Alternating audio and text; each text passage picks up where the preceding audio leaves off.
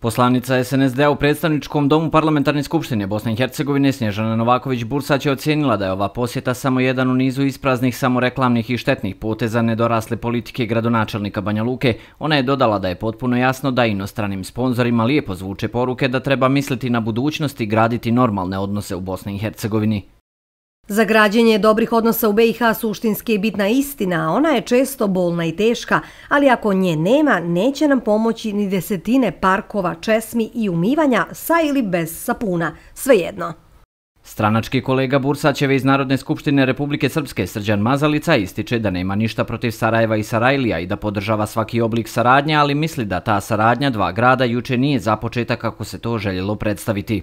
Ali ne podržavam jednu takvu manifestaciju e, emotivno, melodramatičnog, nekog fundamentalnog preokreta i slanja poruka da je sad sve do sada bilo, bio tamni velajet, a sad će neko poslati neke poruke pomirenja i te poruke će na kraj krajeva prijeći preko svih onih pitanja za koje smatramo da e, tište i ljude i na kraju krajeva videli smo i da ta udruženja potpuno s pravom reaguju i da su takve neke aktivnosti nose svoj određeni rizik na koji svakako treba ukazati. Gradonačelnik Banja Luke Draško Stanivuković je naveo da se njegovi i pogledi gradonačelnice Sarajeva Benjamine Karić na prošlost razlikuju i pitanje je da li će to iko ikada moći da popravi, ali se kaže zalaže za jednu korektnu saradnju od koje će ekonomije i Sarajeva i Banja Luke imati koristi.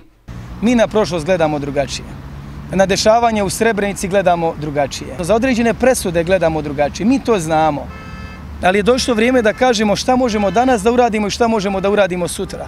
Ja zagovaram jednu ideju e, jednog e, modernog Srbina koji je svjesan svoje prošlosti, e, koji poštuje svoju prošlost, koji vrijedno je sve ono što su preci njegovi uradili, dali živote.